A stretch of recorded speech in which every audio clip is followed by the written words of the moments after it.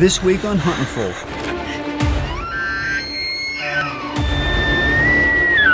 Join Will and Robyn Waldrip as they scale the mountainous terrain of Utah on a quest for a Fillmore Pahvant elk.